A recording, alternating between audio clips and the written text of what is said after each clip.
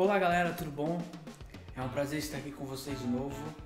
E hoje nós vamos aprender um link super legal para você que tá, que quer, a gente quer fugir um pouco hoje do piano, do teclado convencional que a gente conhece. E vamos aprender hoje um pouco de cordas, ou como muita gente chama, os strings, né? Assim, se não me engano, a galera fala muito. Eu espero que vocês gostem, espero também que vocês façam devagar, ok? Faz devagar, faz com calma. É um link super legal sobre dinâmica também, porque quando você tá no instrumento e você vai para outro, você tem que interpretar ele mais ou menos, pelo menos da mesma forma, que não soe como se você estivesse tocando no teclado. Então é isso aí, espero que vocês gostem. Valeu!